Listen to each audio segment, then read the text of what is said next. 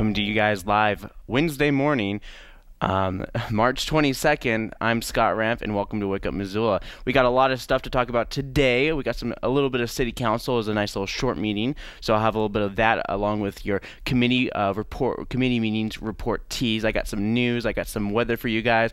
The snow, no more on the snow report, so I'm gonna be talking about that. I got my new stop motion anthology this week, and I also have events. So let's kick off with a little bit of weather. So currently it is 37 degrees outside. Your high is going to be 53 degrees with a 30% chance of showers. Um, and then Thursday, it's going to be mostly sunny with a high of 50 degrees. Um, it's a good day to be out and about. Um, it, uh, well, it looks to, like to me um, uh, the the days I basically have the afternoon off, it all rains. But Thursday, when I'm going to be working here at MCAT all day, it's going to be nice and sunny outside. How is that for uh, fair? Um, so you have that low of 30 degrees uh, happening Thursday night. Friday, you have that 54 high with a partly sunny, 20% chance of showers. Friday and then Saturday, it's going to have that 70% chance of rain turn into a 50% chance of rain over the um, Friday and Saturday um, days and we'll have more about your weather this Friday. But in the news, if you haven't already heard, that uh, they'll be uh, doing a um, a new committee. Um, so after 10 years, after the original advisory committee disbanded, the Missoula County Fairgrounds will have some more people um, to have a say in the year's Western Montana State Fair.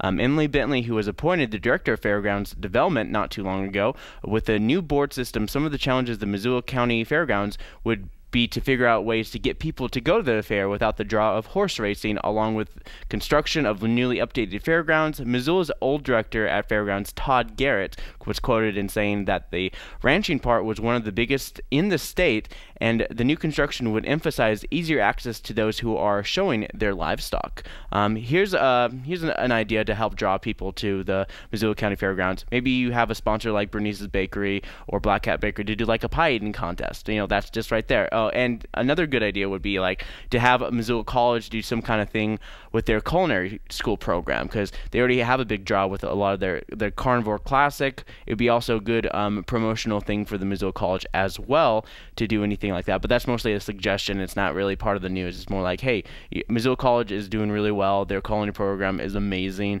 and it would be a really cool thing if the culinary program were to do thing that particular time during the uh, Missoula County Fair just kind of emphasized that. I wanted like an actor, some kind of like big demonstration thing with some of the professors. Um, they, since their program is growing like crazy, um, it would be a good way to get more enrollment and more people to sign up along the lines, or more people interested and more people for the culinary program. Um, but um, the advisory co committee will plan to meet in April. Um, they already have the board all pretty much set up. Um, but you can always still inquire with Emily Bentley, who is also a city council member uh, for the city of Missoula, about any questions or comments you may have. Um, in the state, an act revising laws related to non-resident hunting, um, establishing Missouri River breaks, non-resident archery only subseasons for elk, six requiring 10% of limited hunting licenses and permits issued for certain species to seven be issued to non-residents. Um, an increase in hunting tags for tourists from out of state is basically what that it means. So um, they, they say that this would add an additional $147,000 to Fish, Wildlife, and Parks. Also, all the tickets that these potential new folks would have um, because the tourists, you know, they have a tendency to um, um, not really follow a lot of the um, regulations of Montana Fish, Wildlife, and Park, so they have to pay even more fees if they do break the uh, the hunting laws as well. So that's also brings some more revenue as well. Um, I think that also might be part of the revenue. So Fish, Wildlife Park, and also said um, uh, that they should uh, not be controlled by the legislator and should have commissioned um, by themselves. Um, they they were they also said that the Billings uh, also, they said in the Billings Gazette that the Helena alone there would be 10 fewer elk tags for resident hunters. Uh, but of course, no action was taken on this bill and it, it, it's not going anywhere basically. Um, in national Neil, news, uh, Neil Gorsuch um, is up for a second his second day of confirmation. Yesterday he was. Today is the third day of hearing for the Supreme Court judge. In an article I got from NPR said that the this white man would bring diversity solely because he's not from a coastal state like the seven other judges. Um, I watched part part of day two, and uh, it's asking you know questions to show some kind of bias towards the judge in some ways. Um, it's less about the qualifications and more about whether or not he's against or for certain things that the uh, senators are asking him. Uh, day three is going on as we speak. I also I also have a clip that I kind of want to show you guys, but so here it is. Here's Neil Gorsuch. And I just wanted to say that. I don't think you have to respond, but what I'd really like to talk to you about. Senator, may I? Sure, Um, I- absolutely. I, I don't, I, I don't mean to eat up your time or anything, but this is, this is exactly the sort of thing I think I've been trying to convey to, to, to members of the committee, which is it's my job to decide these cases without respect to persons. There is the little guy right there. He's a criminal defendant. It's unsympathetic. I completely, I, I understand everything you're saying about it. It's all true. The question is still, does the government have to prove what the law requires of the government or anybody, the big guy?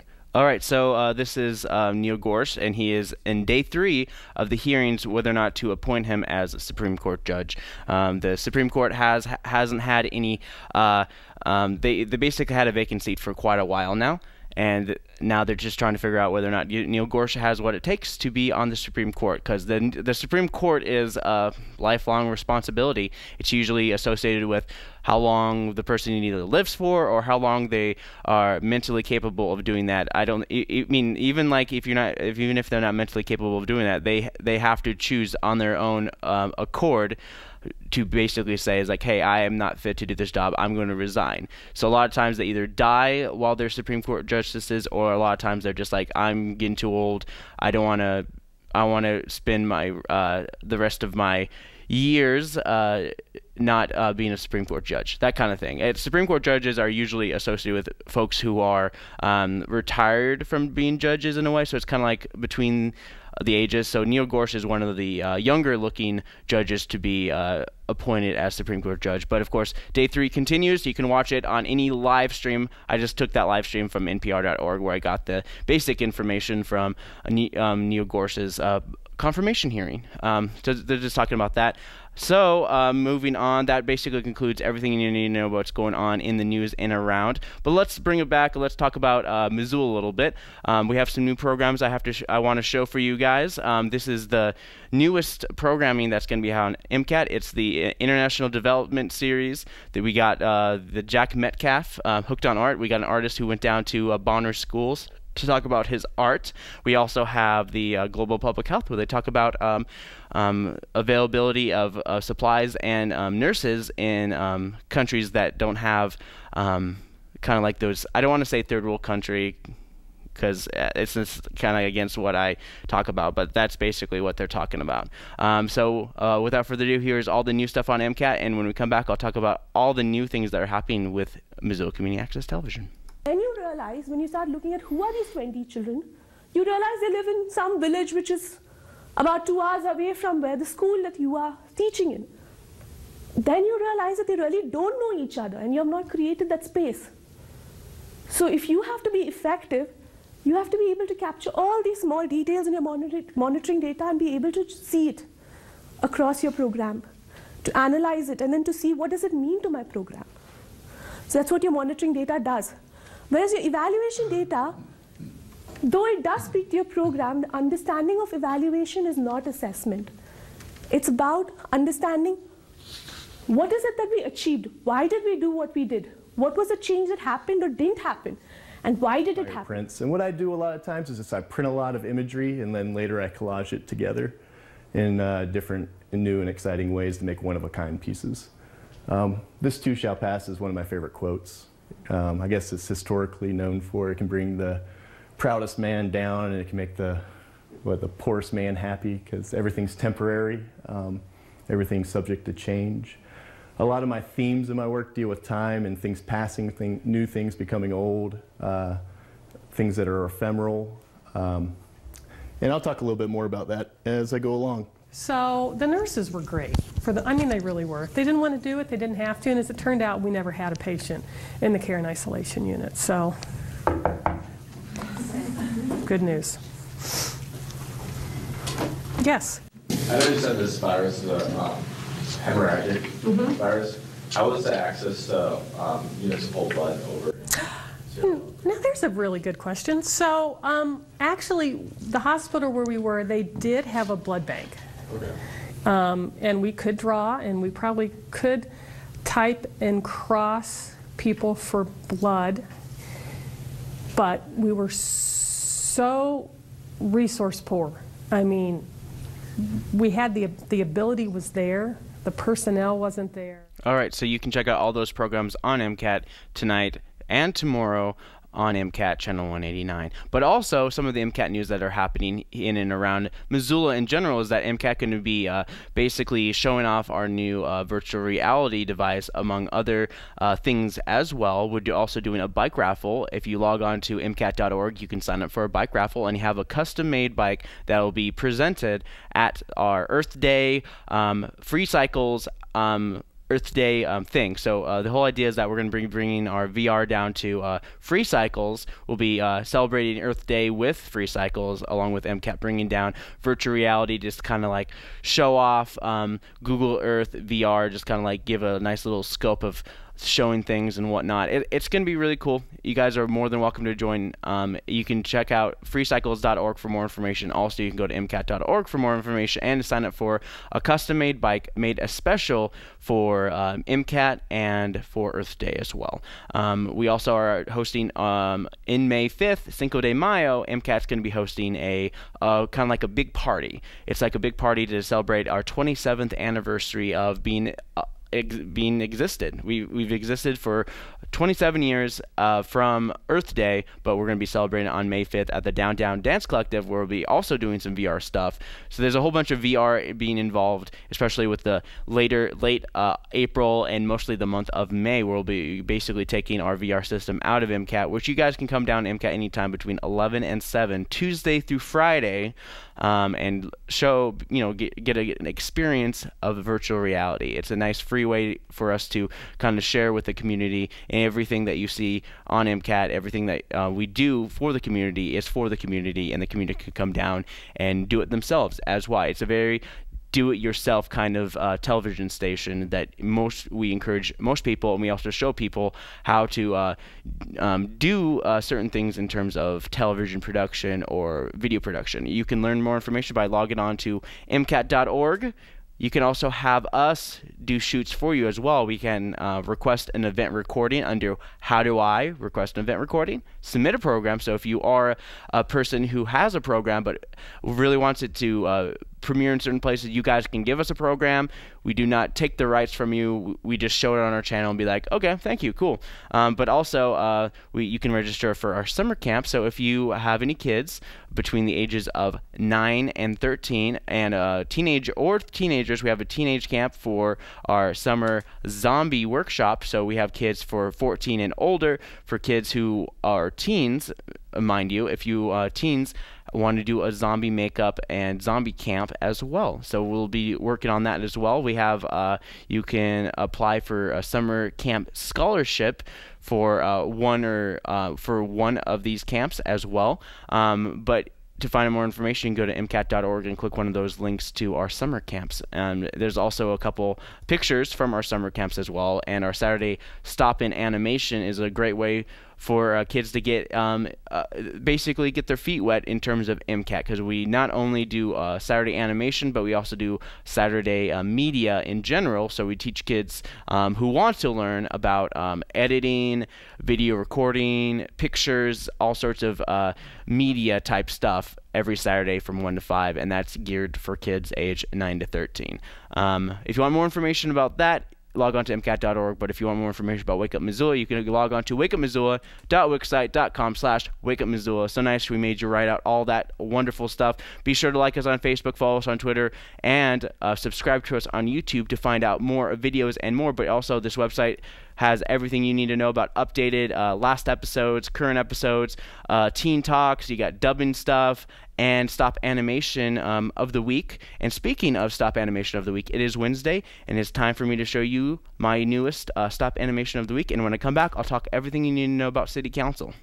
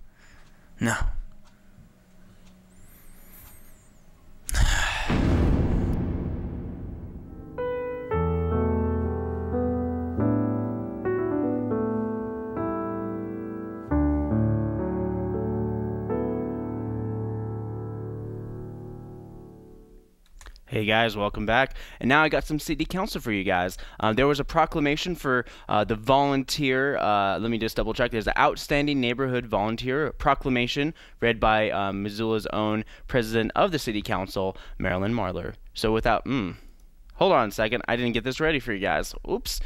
Okay, so let's, uh, before I get the video just kind of all squared away, let me just talk about some of the community meetings. They're going to have six community meetings happening today, all the way from 9.15 until about 12.30, um, 1 o'clock.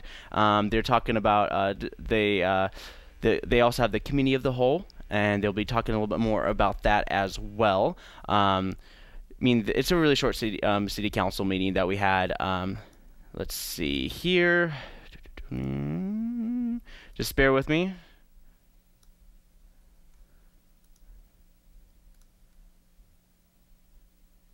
Okay, so uh, without further ado, here is uh, Outstanding Neighborhood Volunteer.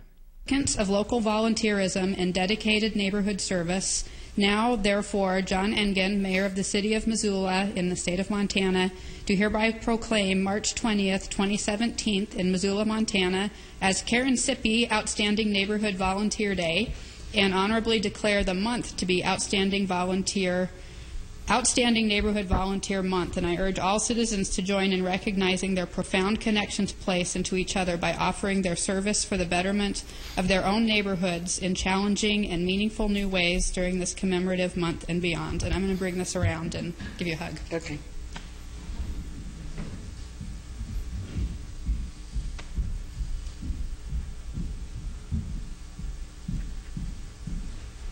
I'm so glad. Thanks for all you do. You got it? Yeah, thank you.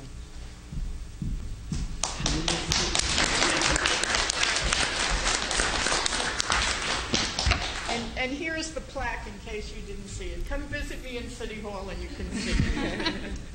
Did you did you want to say a few words? Just, I wanted to thank everybody, thank my husband for his support, Grant Creek Trail Association.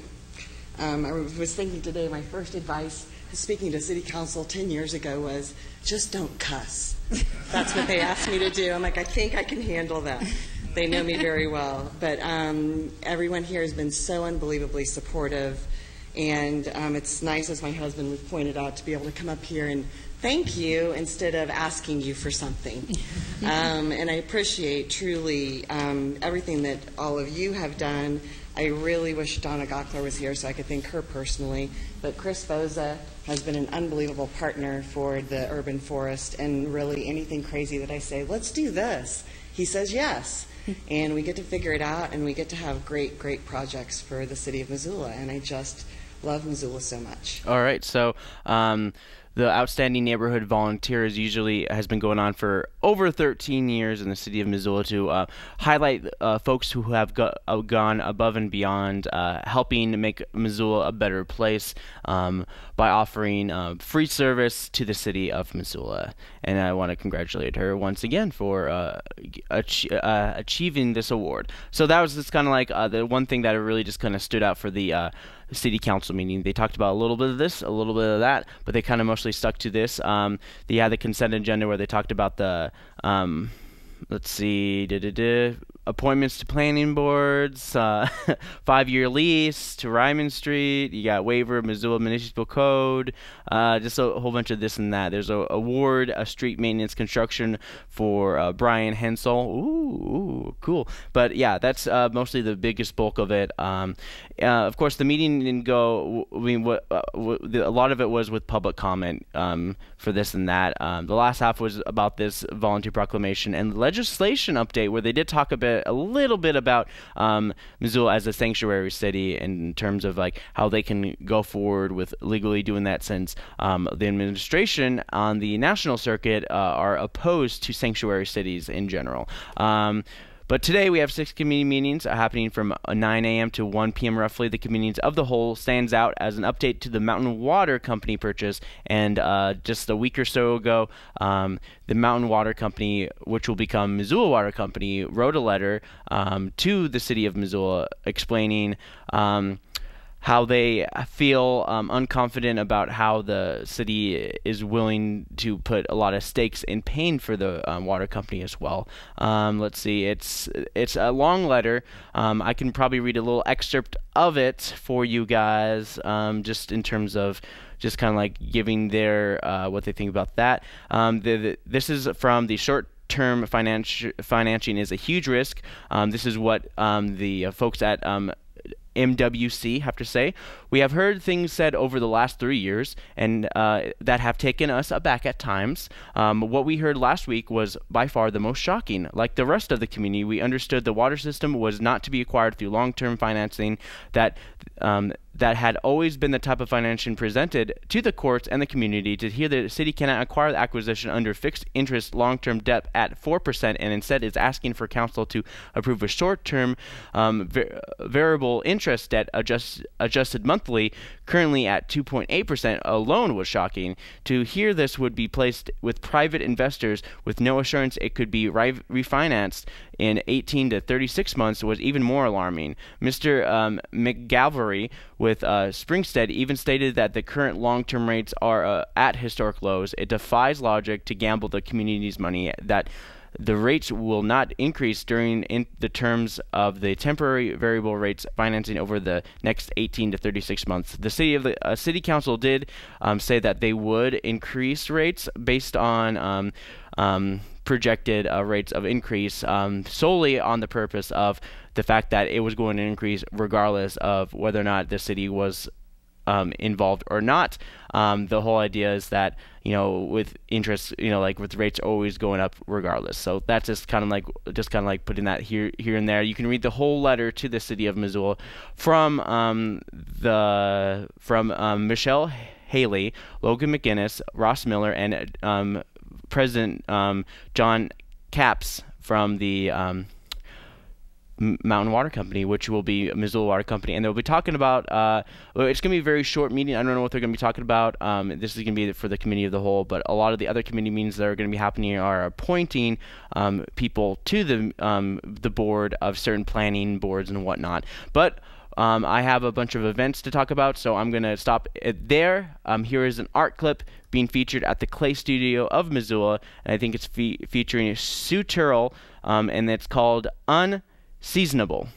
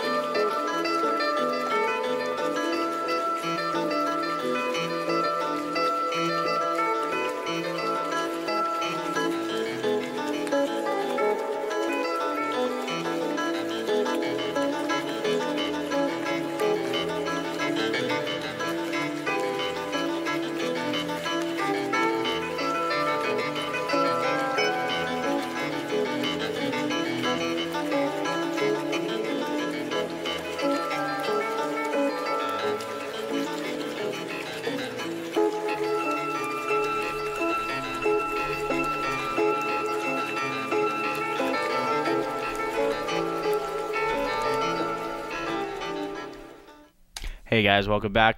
I'm going to be telling you guys about all the events that are going to be happening in and around Missoula, starting with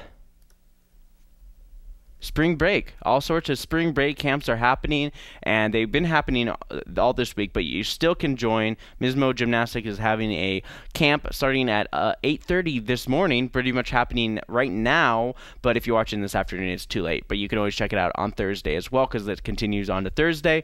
Uh, this is a Mismo spring break camp. Come spend your break learning gymnastics and forging new friendships. Uh, the full week or a full day camp um, is from 8:30 to uh, 3:30 p.m. Uh, members are $180 and $200 for non-members. There's the Trampoline Jam Spring Break Camp at Roots Acro Sports Center starting at 9 a.m. Uh, spring into the week full of ages for 4 to 12 years of age. Activities include, uh, but not unlimited to, gymnastics, trampoline, arts and crafts, face painting, and black light parties. Black light parties. Weird. Um, I thought those were bros. Uh, anyways, spring break art camp 3D Dynamics is happening at the Missoula Art Museum. Uh, kids aged 6 to 12 years of old, 12 years of age. you'll have a great time when you join the artist and teacher oh, Jolana Ryan at Missoula Art Museum this spring break. It's happening all week long. It's happening 9 a.m. to 3:30 p.m. It's $140 for members, uh, $140 and $126 for members. You will explore and create sculptures inspired by the Missoula Art Museum, 3D art, all sorts of wonderful things that are happening at the Missoula Art Museum. Um, they really started doing a lot of emphasizing with uh, kids um, and, and art. Uh, spring break kids activity backyard birding bash at the Montana Natural History Center at 10 a.m. this morning. If you're staying in town for spring break and you're looking for something to do, stop by Montana Natural History Center for some free activity for kids. And this is happening from 10 a.m. to 11 a.m. this morning um, during spring break. Um, so uh, they'll get binoculars and learn about the backyard birds, what birds what we can find this time of year, and what what they sound like, and how many we can see in here. And they're gonna all learn all this in an hour. Then you have communication practice group happening at 12 at Jeannette Rankin Peace Center. It's a community practice group. Everyone is welcome. No experience is necessary. It's free. It's based on the nonviolent communication model taught by Marshall Rosenberg. Noon every second and fourth Wednesday of the month. For more information, you can call them at 443- 3439. Again, that number is 443 3439, and uh, obviously the area code is 406. Um, you have the uh, History Museum at Fort Missoula, Historic Museum at Fort Missoula. Sorry about that. They're going to call me now. Um, Trailblazing Beer uh, Flights fundraiser is happening at 6 p.m. at the Dram Shop. Are you interested in brewery pioneers of Montana and the brewers that have the reason we can enjoy a cold ale or IPA today? Join the Dram Shop and the Historic Museum at Fort Missoula to celebrate Montana brewing pioneers with the Trail Beer blazing beer flights and history uh, about each brew. $15 per flight, and each beer will uh, be carefully chosen from the original Montana brewery. Interactive uh, history of beer exhibits, um, historical facts on each beer in the flight, um, raffle, swag, and fun will be um, in abundance. So, uh, Historic Museum at Fort Missoula, you can hang out with Jesse Rogers and those guys at the Dram Shop at 6 p.m. tonight. Here are some of your public library events that are happening. Um, open open hours in the Makerspace at the Missoula Public Library. They have a 3D printer. It's wonderful. Um, Excel at Missoula Public Library, so you can stop lying about Excel on your resume. You can actually learn Excel at the Missoula Public Library at 12:30 p.m. You have afternoon matinee at the movie. So if you want to just be like, hey, I did Excel, I'm proud of myself. Let's go watch a movie. They're going to do a movie at the Missoula Public Library. Uh, middle school writers group is uh, for middle schools. So if you're in middle school and you're at any of these Excel things, because it is spring break, you can learn Excel and then you can go to a movie, and then you can go to middle school writers group at 3:30 p.m. You can have a whole day at the Missoula Public Library. It's wonderful, um, and you can learn, um, improve your writing skills, um, and you can have um, um, constructive criticism. Um, and a lot of times criticism's like, oh, criticism, don't be mean. It's like, no, constructive, constructive criticism is a way of saying it's like, it's criticism, but actually helps you. So Wednesday movies at the Big Sky branch. Big Sky High School hosts a movie at 345 um, hosted by the Missoula Public Library. Tiny Tale, oh, that's Thursday. So that pretty much wraps up everything you need to know about Wednesday um, library events. Here is your Wednesday um, nightly events if you guys are going out and about um, in the Missoula area during spring break. Um, Top Hat is doing a happy hour sharing in the groove. They're celebrating the music of Phish. Imagination Jam Society Public Jam at Imagination Brewing Company is hosting an open jam session for musicians to come out and play music. Um, country dance lessons with um, Instructor Kathy Clark is going to be at the Sunrise Saloon to learn some country dance lessons, swing dancing, all sorts of cool things. It's every Wednesday and Thursday nights, 7 p.m. You have Jazz Night at Top Hat Lounge at 7 p.m., karaoke contest at the Eagles Lodge, Craptastic Karaoke at the Badlander, Milk Crate Wednesday was, is electronic music at the Palace, and then country karaoke, rocking country karaoke, and is going to be at the Sunrise Saloon tonight. Um, so you can check all that out by going to MissoulaEvents.net.